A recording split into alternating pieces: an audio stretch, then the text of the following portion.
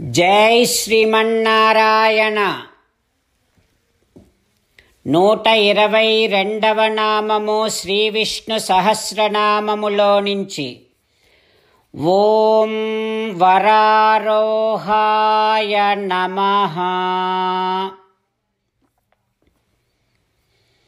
హో శ్రీమన్నారాయణ మేము పొందాలి అనుకునేటటువంటి సర్వ విధములైనటువంటి ఫలముల కంటే ఉత్కృష్టమైనటువంటి ఉన్నతమైనటువంటి ఫలము మాకు నువ్వే కదా తండ్రి.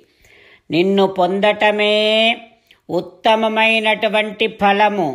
ఎందుకంటే నిన్ను పొందినటువంటి వారు నీ స్థానముని చేరుకున్నటువంటి వారు తిరిగి మళ్ళీ ఈ జనన మరణ చక్రములోనికి రానవసరము లేదు కనుక నువ్వు తప్ప ఇతర దేవతలను ఎవరిని ఆశ్రయించినప్పటికీ ఎట్లాంటి ఫలములు పొందినప్పటికీ ఏ స్థానానికి వెళ్ళినప్పటికీ తిరిగి మళ్ళీ ఈ జనన మరణ చక్రములోనికి రాక తప్పదు కనుక ఈ చక్రములోనికి రానవసరమే లేనటువంటి నిత్యమైనటువంటి ఉన్నతమైనటువంటి స్థానము నీ స్థానమే కదా తండ్రి.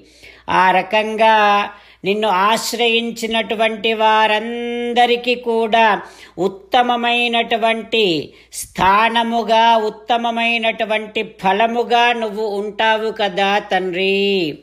హో శ్రీమన్నారాయణ నీ దివ్య చరణారవిందములనే ఆశ్రయిస్తున్నాను. ఓం వరారోహాయ నమ. ఓం వరారోహాయ నమః.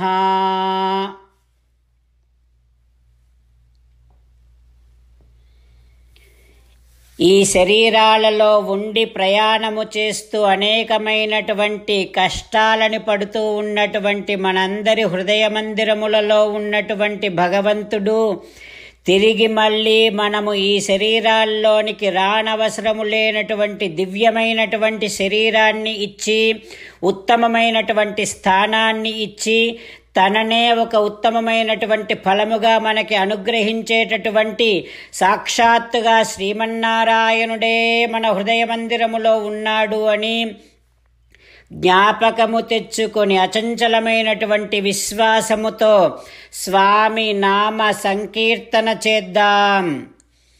శ్రీమన్నారాయణ నారాయణ నారాయణ శ్రీమన్నారాయణ నారాయణ నారాయణ శ్రీ వాల్మీకి రామాయణములో దశరథ మహారాజు కైక యొక్క అంతఃపురములో క్రిందపడి దొర్లాడుతూ రామా రామా అంటూ నిన్ను ఒక్కసారి చూడాలని ఉంది నాయనా అంటూ దుఃఖిస్తూ ఇక తెల్లవారుతోంది అందరూ వస్తారు అని వారందరికి నేను ఏమి చెప్పాలి రామపట్టాభిషేకము గురించి అని దుఃఖిస్తూ ఉన్నటువంటి సమయములో వశిష్ఠ మహర్షి బ్రహ్మర్షి అంతఃపురము దగ్గరికి వస్తూ ఉన్నాడు. దశరథ మహారాజు దగ్గరికి వస్తూ ఉన్నాడు. దశ వశిష్ఠ మహర్షి చాలామంది జనులతోని ఆ అంతఃపురము దగ్గరికి మెల్లిమెల్లిగా మెల్లిమెల్లిగా వస్తూ ఉంటే అంతఃపురములో నుంచి అప్పుడే బాగా అలంకరించుకున్నటువంటి దశరథ మహారాజుకి చాలా ప్రీతిపాత్రుడైనటువంటి మంత్రి సుమంత్రుడు బయటికి వస్తూ ఉన్నాడు. అప్పుడు వశిష్ఠ మహర్షి అంటూ ఉన్నాడు హో సుమంత్ర నువ్వు వెంటనే వెళ్ళి రాజుగారికి చెప్పాలి. నేనొచ్చాను. మొత్తం అంతా పురజనులంతా వచ్చారు. అందరము రామ పట్టాభిషేకమునకి సంసిద్ధమై సామగ్రి అంతా తీసుకొని వచ్చామని చెప్పు. రాజుగారితో చెప్పు గంగా జలములు వచ్చాయి. సముద్ర జలములని తీసుకుని వచ్చాం. బంగారు కలశాలని తీసుకొని వచ్చాం. రాజు కూర్చోవడం కోసం కావలసినటువంటి భద్రాసనాన్ని తీసుకొని వచ్చాం. సమస్తమైనటువంటి ధాన్యములు వివిధ రకములైనటువంటి గంధములు పలు రకాలైనటువంటి రత్నములు క్షౌద్రం దధి ఘృతం లాజా దర్భాహ సుమనస పయః అష్టౌ చ కన్యా రుచిరా మత్తశ్చ వరవారణ.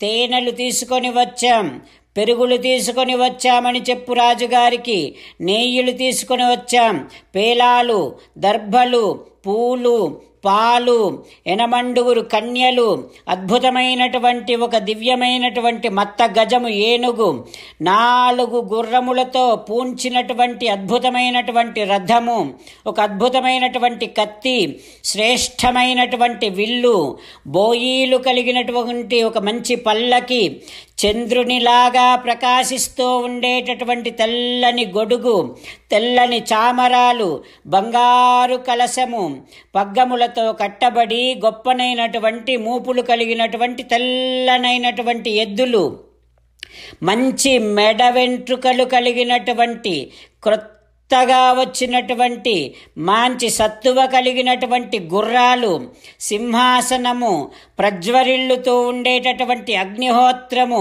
సకల వాద్య సమూహములు అలంకారముతో కూడుకున్నటువంటి ఇతరమైనటువంటి స్త్రీలు ఆచార్యులు బ్రాహ్మణులు ఆవులు పవిత్రమైన ఇతర జంతువులు పక్షులు పట్టణవాసులు పల్లెవాసులు శ్రేష్టమైన జనులు వర్తకులు వారి వారి సహచరులు అందరూ వచ్చారని చెప్పు.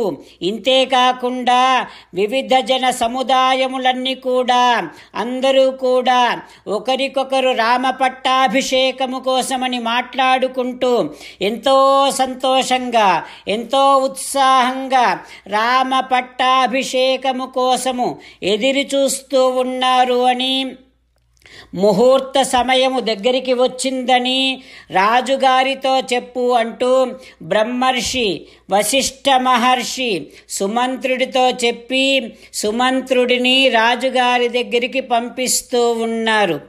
సుమంత్రుడు వెడుతూ ఉన్నాడు. అంతఃపురంలోనికి వెడుతూ ఉన్నాడు. రాజుగారు ముందరే చెప్పి పెట్టారు.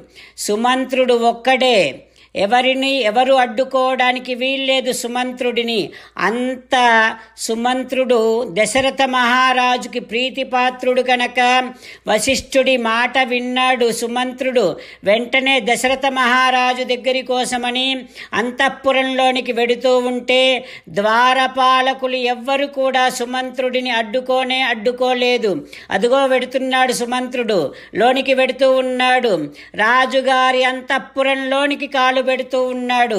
రాజా రాజా అంటూ సంతోషంగా రామ పట్టాభిషేకపు సంతోషాన్ని వ్యక్తపరుస్తూ రాజా రాజా అంటూ సుమంత్రుడు లోనికి వెడుతూ ఉన్నాడు. రాజుగారిని మేలుకొలిపి సిద్ధం చేసుకొని తీసుకొని రావటం కోసం. ఆ తర్వాత ఏం జరుగుతుందో రేపు తెలుసుకుందాం. సీతారామచంద్రులని మనసారా ధ్యానము చేస్తూ రామనామాన్ని చెప్పుకుందాం. రామ రామ దశరథ రామ రామ రామ దశరథ రామ హే హే రాజా రామ హే హే రాజా రామ హే హే సీతారామ హే హే సీతారామ. పదమూడవ శ్లోకం. రుద్రో బహుశిరాः బభ్రుः విశ్వయోని శుచిశ్రవా అమృత शाश्वतस्थानुः। वरारोहो महातपाः। ॐ। सर्वं श्रीकृष्णार्पणमस्तु। जय श्रीमन्नारायण। ॐ वरारोहाय नमः। ॐ वरारोहाय नमः। ॐ वरारोहाय नमः